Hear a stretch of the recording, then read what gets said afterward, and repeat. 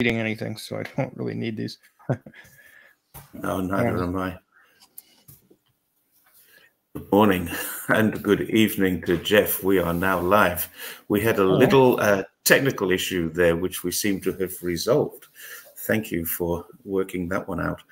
Yeah, um, well, the technical issue was uh, in my brain. I forgot to check a sound setting on StreamYard, even though I checked it on my computer. So you know, you know that you know that the uh, the word for computer in Chinese is electric brain.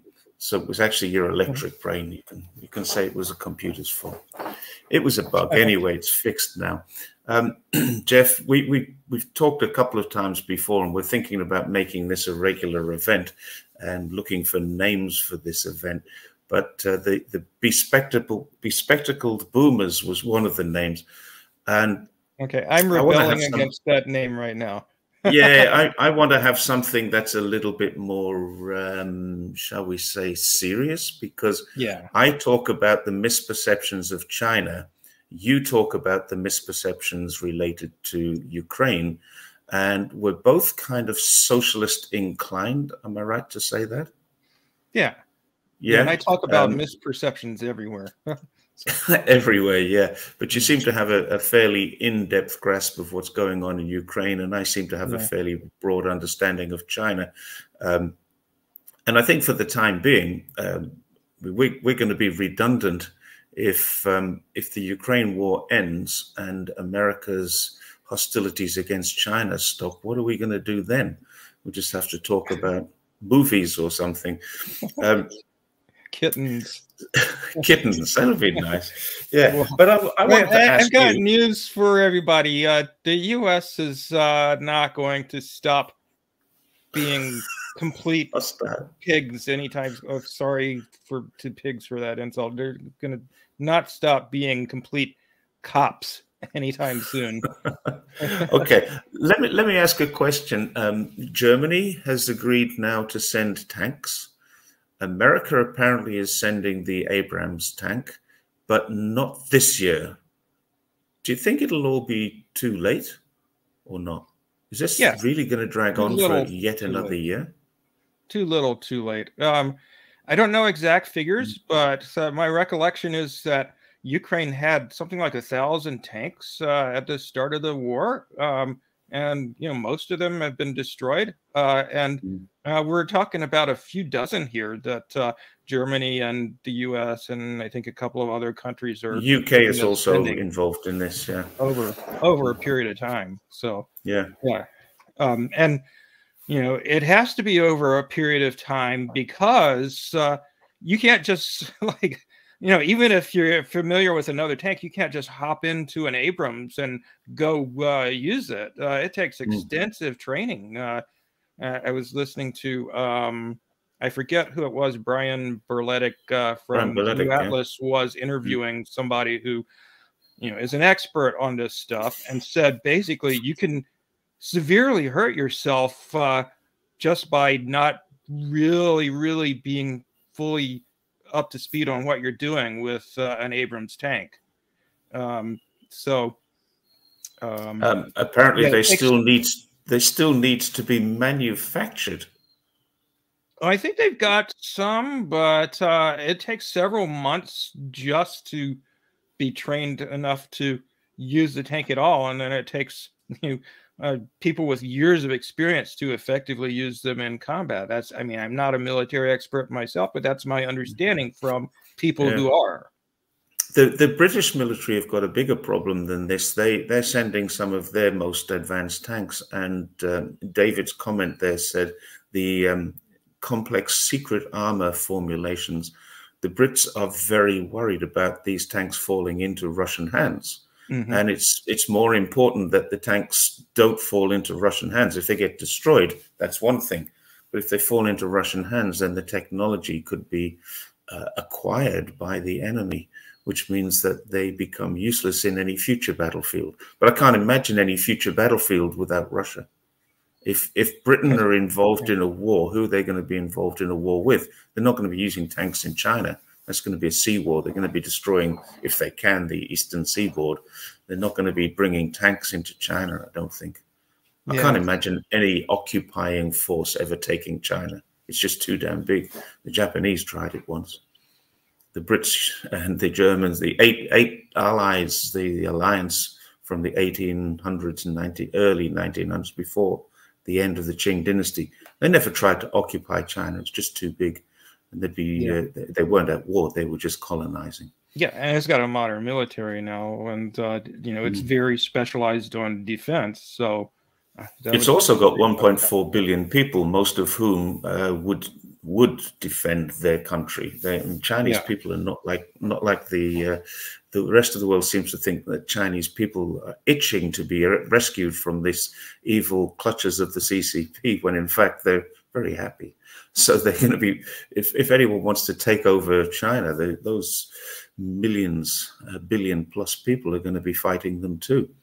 Yeah, well, even Russia. I mean, at the start of the yeah, even with mm. Russia at the start of the war, um, they only sent in something like 150,000 troops, which uh, mm. which is why they called it a special military operation in part because it was a limited military operation, uh, mm. and uh, you know it turned out that uh, that wasn't enough. Even though they had you know, overwhelming firepower superiority, that still wasn't enough to uh, do the limited job that they had uh, set for themselves of uh, mm. you know, hmm. basically kicking Ukraine out of the Donbass. Um, yeah, and so you know then you know with after a few months they you know called up 300,000 more troops. You know, put them through yeah. uh, you know retraining and so forth. Uh, you know they were already reserves and already had combat experience most of them, uh, and you know give them another year they could call up a million more no problem you know, yeah. and this, this know, is an interesting comment from um, from David again.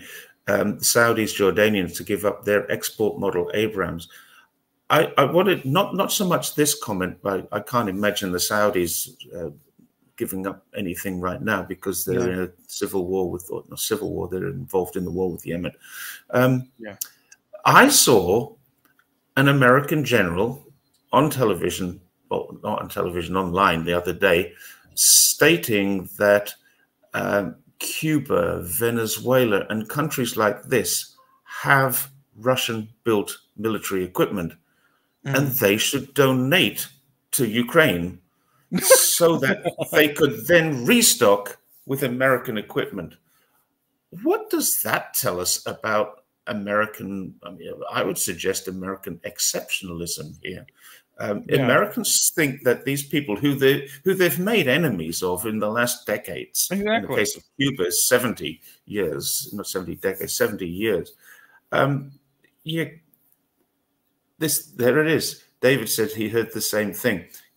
Cuba, they want Cuba to cooperate with the US. why on earth? What now? I, I'm, I'm not going to say why would Cuba do that because it's obvious they, they wouldn't or shouldn't. Why on earth would America expect that? What's the expectation there?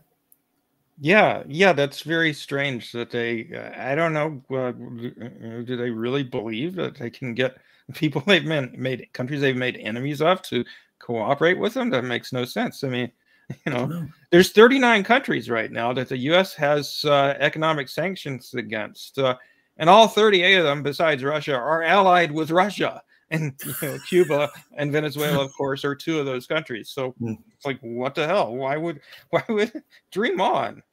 Mm, mm. It's interesting that they haven't come to China and asked China to help yet. they did, though. They did. They asked China. They to, yeah, they asked I, China I, not to send weapons yeah, or anything, but to speak out. They've asked China not to help Russia, but they've never asked China to help Ukraine. I, as far as I'm aware. Right, but they asked China to condemn Russia. Yeah, yeah, that's been going on a while, and China's just said, "Look, it's none of our business. We, are not yeah. getting involved in this." So, I mean, yeah. I, yeah, I it's none of our business, but it's your fault it started as well.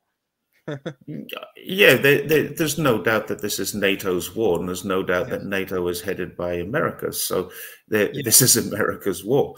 Yeah, um, my, my think... point is that even though, of course, uh, for diplomatic reasons, China can't come out and say they support Russia's military action, even if they do, they can say, look, NATO aggression is what started this.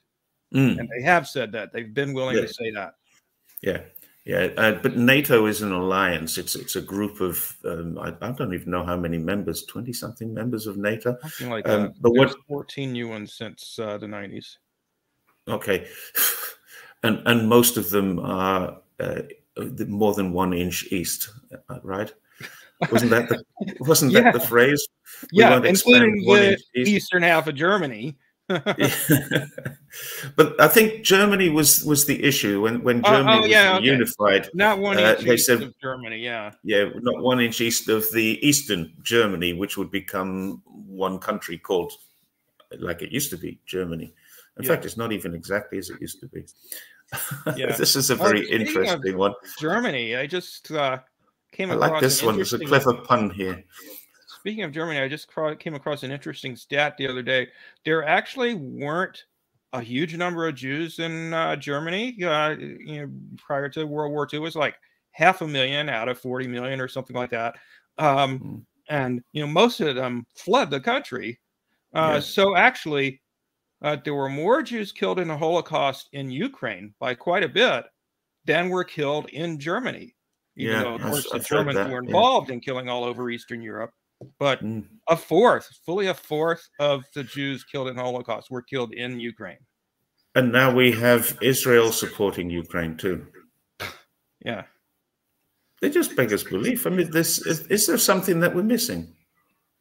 Uh, well, I mean, you know, I, I guess, well, Zelensky, you know, the head uh, Jewish person in Ukraine, the uh, president of the country, who you know is ethnically Jewish, uh, you know, he's a collaborator with these Nazis. So, you know, um, there's definitely precedent for that. Is is there um is it collaboration or is he forced into this? Do you think?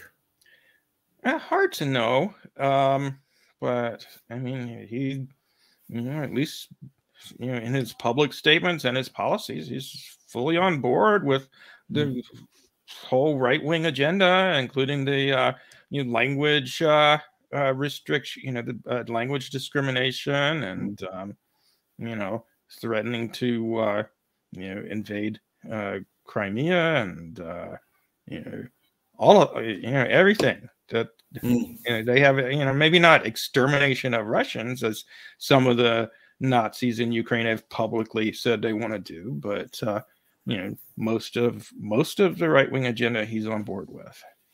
So, do you think that if Russia had not gone into Ukraine, what would have been the next step? Let's say, let's say Russia exercised the restraint that I think China is showing because China Mhm. keeps getting hammered with the Taiwan question, um, and and is showing an incredible amount of restraint. There Mhm. are American troops in Taiwan, so there's a there's a lot of things going on in the background, I'm sure, but showing an incredible amount of restraint.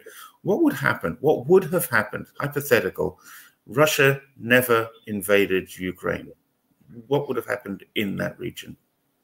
Uh, well, uh, Ukraine uh, would have launched a full scale invasion of the Donbass, and instead of losing you know 150,000 or however many it is soldiers uh, in the Ukrainian military, uh, there would have been tens of thousands of civilians killed in the Donbass by the Ukrainian army. That's Mm. what would have happened. And then, of course, if that had happened, then Russia would have been right to have invaded.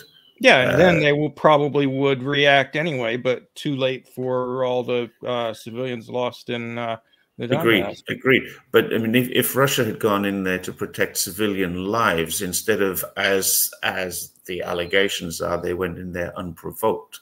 If civilian lives were being lost, but weren't civilian lives being lost already? Yeah.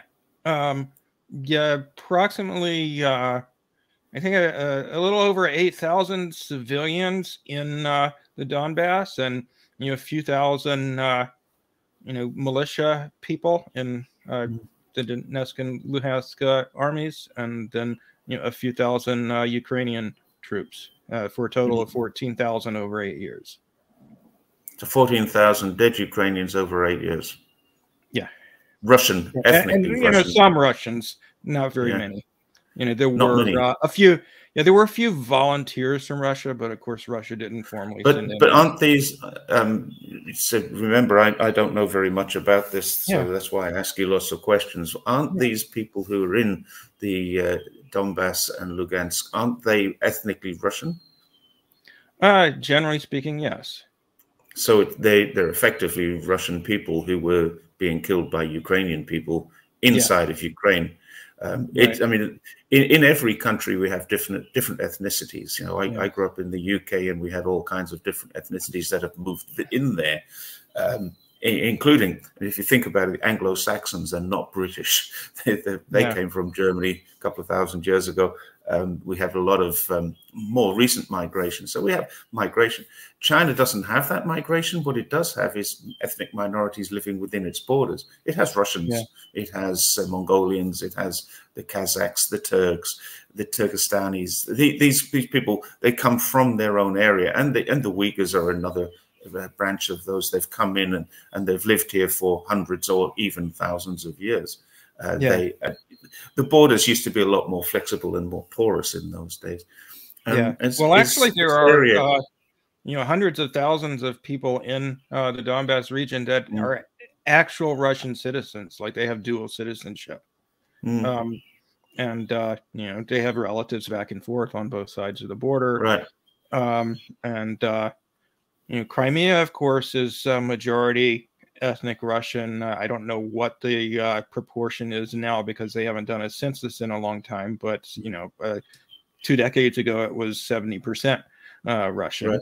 um, and there's been a lot of migration um, since then, um, in mm. and out. Um, so I'm sure it's higher by now. Um, I don't know if the Donbass is uh, majority ethnic Russian, but they are certainly overwhelmingly majority Russian speaking. And of course, one of the issues uh, was that the Ukrainian government was trying to discriminate against the Russian mm. language, wouldn't let it be taught in schools and put in publications and so forth, or used yeah. in uh, public meetings. Um, what do you think of this question from Shady? Has well, it's not a question; it's, a, it's a, an opinion. I think uh, Zelensky started with decent intentions rather naively, probably, yeah. Then learned how dirty and dangerous Ukrainian politics are and how to play ball with the US. Um, what do you think of that? Do you think he well, started with with good intentions? I remember he got voted in on the basis yeah. of he would uh, uphold the Minsk agreement and bring peace to the region. That clearly hasn't happened. Yeah, well, I mean, you know, he uh, his uh, benefactor was uh, the Ukrainian oligarch who literally started, you know, provided the starter funds for the Azov battalion, uh, who also, interestingly enough, is Jewish. but uh, um, is that but, this uh, one? I mean, Kol- Kolomiski, Kolomoisky, yeah, uh, yeah, yeah. Um, but uh, you know. It, eh, unless Zelensky was incredibly uninformed, he had to know that mm-hmm. you know who his boss was, but or benefactor in the presidential race and boss when he did his TV show. Nicole mm-hmm. same dude who also started Nazi groups in Ukraine. Um, and uh, yeah, I mean, in terms of what he said, he said he was for peace, and you know, he had this famous meeting in eastern Ukraine with the, uh, I guess it was the Azov people, and yeah. they, you know, kind of, you know, uh, told him what was up, and you know, you know there were death threats against him and uh, so forth. Uh, so yeah. yeah. you know, he might have been intimidated, but uh, you know, I don't know if I would necessarily say his intentions were good. Uh, you know, I don't know, but you know, he's surely you know corrupt and sold out and uh, evil now. You know. Well, here, here's the bottom line. It's, this really is the bottom line. Ukraine is a war to make money for certain people in the USA. Um, yeah, and also and also to attempt to uh, destabilize Russia. I mean, that's explicitly stated in uh, yeah. uh, by and it's, U.S. It's been restated several times. Yeah. Who who, who destroyed Nord Stream now? Russia. well, I, have heard it was neo neocons, and I'm not even sure what a neocon is. But uh, I keep hearing all sorts of different things that uh, it, it, that it was destroyed in order to destroy the relationship between Russia and Germany, And uh, obviously, Russia would not do that. But remember, I had this theory that Russia might have done this and pretended it could have been a huge false flag operation. So they pretended it was someone who was trying to destroy the relationship between Germany and the US, if such a thing exists. Yeah, well, I mean, it doesn't. It's not in anybody's interest except the U.S. and the uh, uh, the mm. few European countries, which are Poland and uh, I forget the other one, one of the Scandinavian countries uh, who uh, you know, built a pipeline that supplies natural gas, so they have a vested mm. interest. Um, yeah. But Germany certainly doesn't. Russia certainly doesn't. Uh, I don't think anybody else in Europe uh, does. Uh, you know, the hmm. U.S. is the main benefactor of this pipeline being blown up. Um, Interestingly, China's China's benefited from this as well.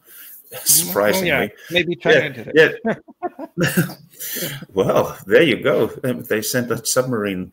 Um, yeah. China China was, signed a contract. I mean, it, it was um, it was worldwide, globally notified that China had signed a contract uh, with uh, Qatar or UAE last year, mm -hmm. uh, back in November. But a year before that, in November 2021, USA and China signed what was at the time the world's largest liquid gas deal, and they were buying X amount of tons every year from the US uh, to, to bring into China. Now, mm of course, that that's not coming to China now. Uh, so effectively, it's being loaded onto ships with Chinese paperwork. China are selling it to Germany, and Germany are having it delivered there. So it's never arriving here. The paperwork is just going through the, the system of brokerage and um, whatever they call that, uh, where they, they, they on sell a, a, shipment before it ever leaves the, the, the port of demarcation it's mm -hmm. being to a, a, a, different client. So Germany are buying Chinese gas, which is coming from America, mm -hmm. and, and and at a fair profit too. Uh, and yeah. I say fair, a good profit. Fair is probably not the right word to use here. It's a pretty good profit. Uh, yeah. Somebody said 150 million per ship, but I've never confirmed that. Yeah. So that uh, so well, China, China, has done well out of that. Yeah, and uh, I can't remember if China is one of the ones doing it, but there are countries that are selling Russian oil to Europe. so, India, India is doing yeah. that right now. Yeah, India is buying Russian oil at a, at a very good price, very a premium price. They've got a long term deal, and uh, they're selling it on probably through American brokers who are making money too.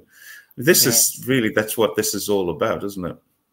And, yeah. and, the poor Ukrainians are fighting each other because they don't like each other, but they're really pawns in a much bigger world. Yeah. Well, I mean, I mm. think that, uh, you know, the uh, fascist faction in Ukraine is a uh, minor. Mm. Oh yeah, that's yeah. I've heard that. I didn't well. know this. There you go. I learn something new every day. Zelensky was yeah, a Russian speaker before becoming. He I could not heard... even speak Ukrainian. He speaks English fairly well. I even so heard that uh, he like pretended to make um, mistakes about uh, Russian to give the impression that he was, you know, Ukrainian who'd learned Russian. Yeah, yeah. hmm. um, That's interesting. Yeah. yeah. Yeah, we, you don't often hear Mao Zedong speaking uh, because uh, he had a very strong Hunan accent and wasn't very good at Mandarin. Uh, hmm. and, and, that that's a fact too. So, I mean, he was Chinese, of course, but uh, he's he grew up in a regional area in um, not far from Changsha, and he spoke local language Hunanhua, and, and so when he did become the leader of China, his, his language skills. I mean, he obviously could speak Chinese, but uh, he didn't speak it as well as he spoke his local language. Mm-hmm. So that does happen in places where they've changed. Well, we're getting a lot of comments here. I'm, I'm trying to keep up with the comments. Oh, I don't um, see another one. You can't see the comments? Uh, well, I mean, I see them when they first appear on the screen, but yeah. and and, and, David says Mao has a very high squeaky voice, which is true. He had a very high squeaky.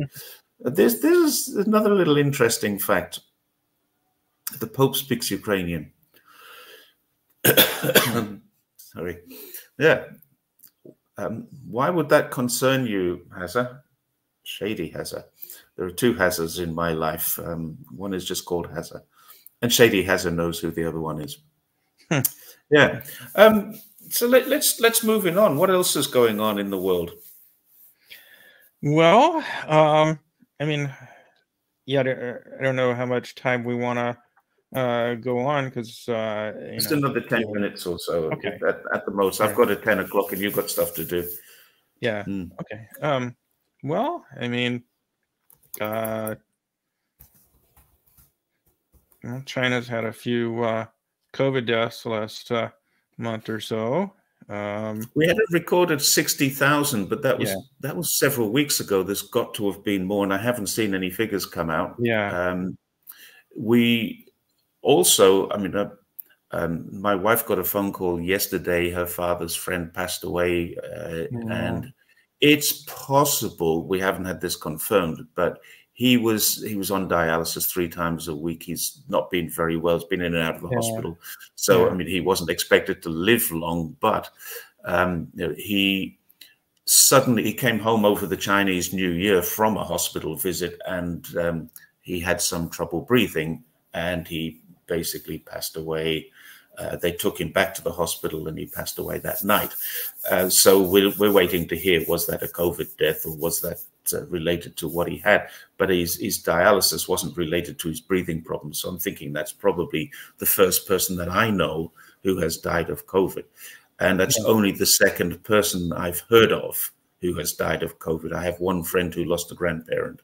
I don't know anyone else who lost someone. So, in terms of numbers, the numbers are not high. I mean, I literally know thousands of people in China, and I'm hearing now this is the second person, and it's only suspected COVID, and that's only by me, not by. Yeah. I mean, no one has come from the hospital and said we, are going to test for COVID because we think he might have. Um, well, so yeah, I mean, it's interesting know, that it's happened like that. The figure that I saw the other day from the um, um, Ministry of Health, uh, CDC, uh, mm. was that deaths uh, peaked at around a little over four thousand a day which is, uh, I mean, that's higher than the highest wave in the U.S. in terms of absolute number of deaths. Um, mm-hmm. But uh, you know, for any wave that the U.S. has had, but you know, of course, proportionally, because China's four times bigger, uh, it's it's not as high. So, um, you know, it'll well, be about the same number of deaths as you know the worst wave that the U.S. has had, but mm-hmm. uh, you know, proportionate to the population, it'll be less. Yeah. There's there's another aspect to this. Uh, we had a big dinner party here a couple of nights ago with some friends that my wife's friends that we haven't seen for for a few months, and all got together. Chinese New Year is the time for doing that. Um, I we asked the question who who had COVID, of course. One yeah. guy said I didn't. I haven't had it yet. Now he's he's only the second person I know in China who hasn't had COVID. Now, I'm connected to people in Beijing, I'm connected to people in Shanghai, I'm connected to people in Chongqing, Guangzhou, Shenzhen, I'm connected to people in many cities. Nobody knows anyone who didn't have it. And the unofficial statistics are that about 80% of the country had COVID. Yeah. 80% means more than a billion people. Now, yeah. thinking about this, a billion people when it was going through its worst time last year, two, two and a half, nearly three years ago now, it was killing at the rate of something like um, 3.6 in some places, but not in China. It was 1.1% of the people who got COVID died of COVID. And that's why China no, said this well, is unacceptable. I mean, yeah, you know, there's not necessarily, you can't really um, uh, rely on the figures for case numbers because I mean different countries not. have different policies on testing. Yeah. So of course not. Of yeah, course. you have to but, uh, do. But let's you do a random sample test of uh, mm-hmm. you know probably of antibodies so you can catch people who are no longer test positive mm. uh, and then you can get a gauge of how many cases there have been and then you can compute a fatality rate mm. but uh, um, you know, David says a lot of people, a few people in Beijing have not contacted COVID. Um, yeah. Everyone I know in Beijing has, um, and I saw Jason was here a little while ago. He's in Beijing. He and he caught it too, but he might have a. He's he's an American living and working in uh, in in Beijing, and he yeah. and I are friends. We've actually met seeing, in person.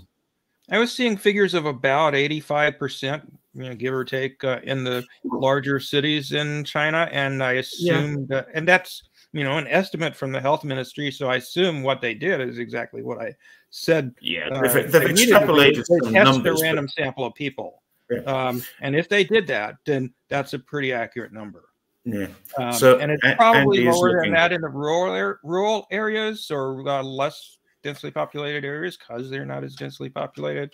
So and and more. I mean, it's it's it's the isolation. Some of these villages, uh, and I've cycled through these places. You know, that you you cycle thirty kilometers, you come across a little village. You cycle twenty more kilometers, and then there's a town. And those that that village, it has a bus it has a bus service running through it twice a day or something like that. So they're not going in and out so much.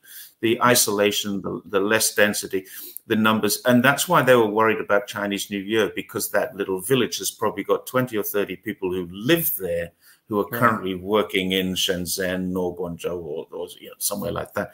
So this urban migration situation. Now, the bottom line is, un unless a million people have died, then China did the right thing if a million people have died, then opening up was probably still the wrong thing. Um, no, but I mean, you, are talking about a billion people caught COVID last month. Okay, but why did a billion people need to catch COVID? You know, I don't know. There's ways of They're, preventing it that don't involve lockdowns, uh, and uh, you know, um, mm.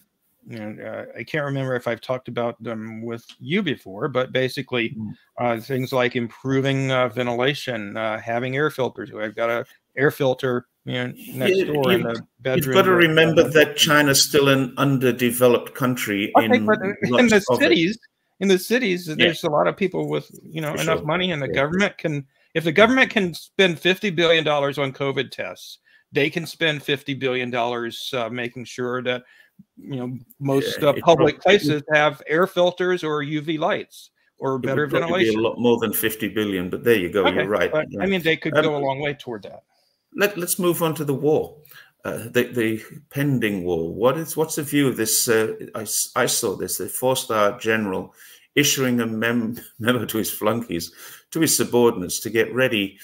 Uh, it, well, shoot for the head is a pretty silly thing to do. You shoot for the body. You shoot for the uh, the biggest mass that you can hit. Right. Um, but yeah, he, he did he did actually put out a memo saying that he wanted his troops ready. He wanted everybody ready, and he didn't care what everybody else said about this, but he wanted his troops to be sharp and ready so that they were the best they could be for this war. That he said, uh, "I hope I'm wrong, but I expect this to happen by 20, I think he said 2024, but anyway, 2025. Um, we we're going to war. Do you think that's uh, that's a possibility? Well, you know, China's certainly oh, not probability. China's not no right. Yeah, um, mm. yeah, I, you know, it depends on how crazy the people who decide these things are. You know, mm. uh, so I don't know. Let's hope not. Um, yeah, but. Uh, yeah. yeah. We, it's it's uh, 9.36 now. We said with 20, 40 minutes at the maximum. Um, normally, we would go on a little longer. We had a couple of technical issues. We both had uh, some communication issues.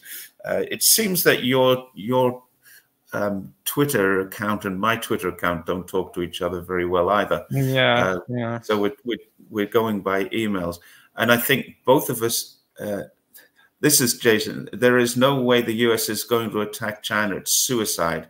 The U.S. Yeah. could never invade, uh, uh, and I and I think this is this is absolutely true. So that's that's Jason who lives in uh, Beijing. Jason, uh, how many people do you know caught COVID? Or sorry, better question: How many people do you know who didn't catch COVID?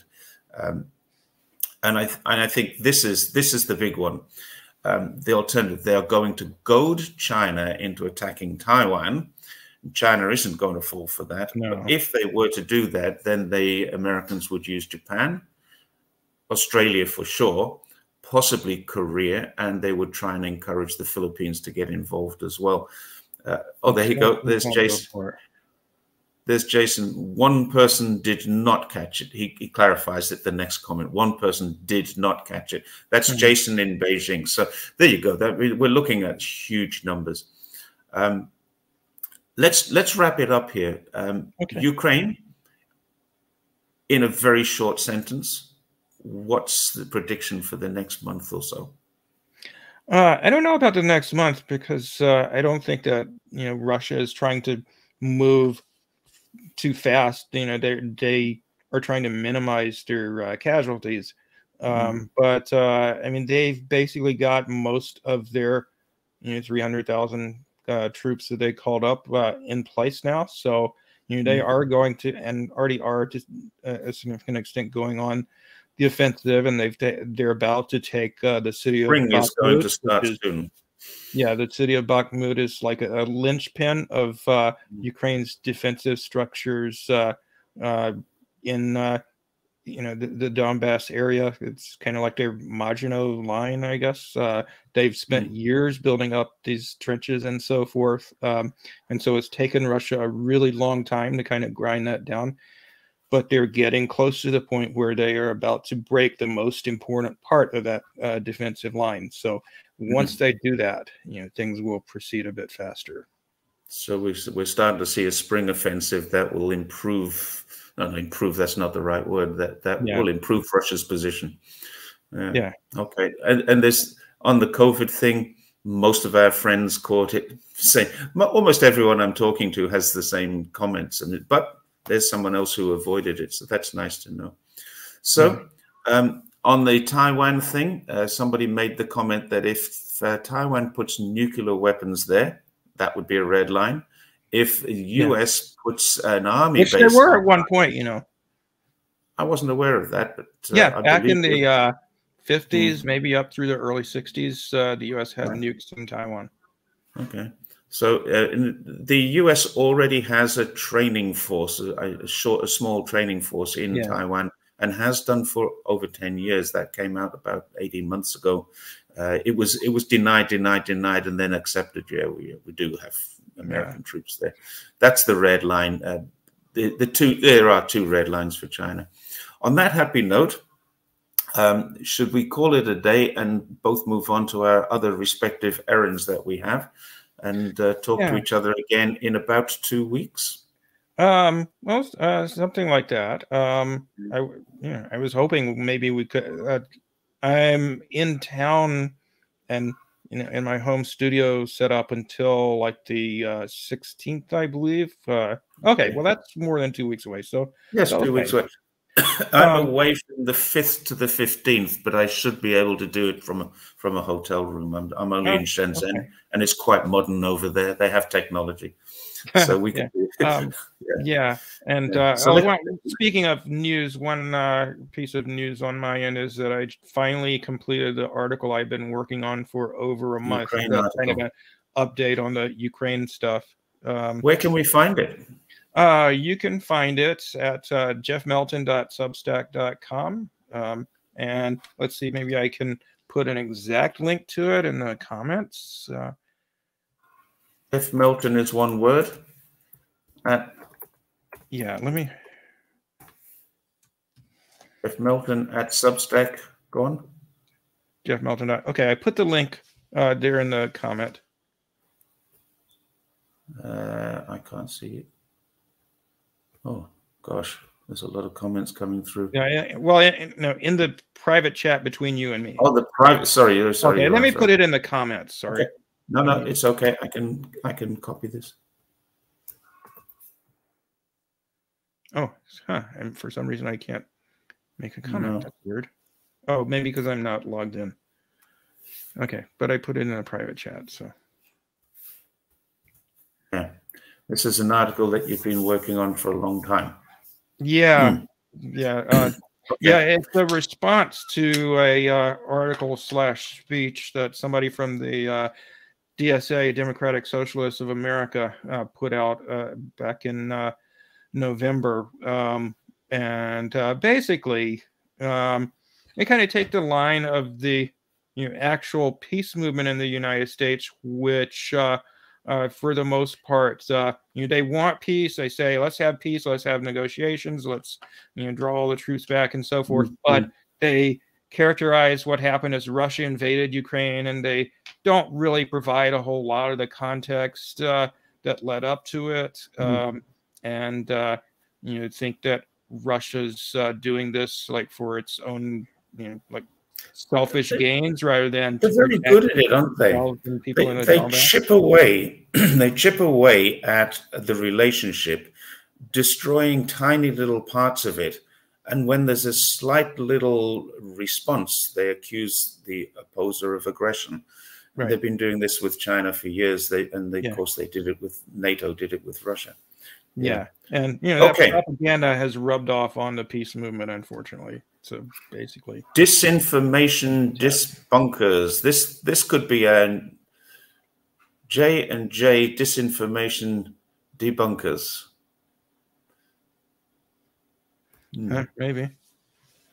Yeah. okay. On that happy note, that we've got ourselves a good name there, disinformation debunkers. Uh, but it's basically only on those two countries. But we might have uh, we might have more to add to it later on.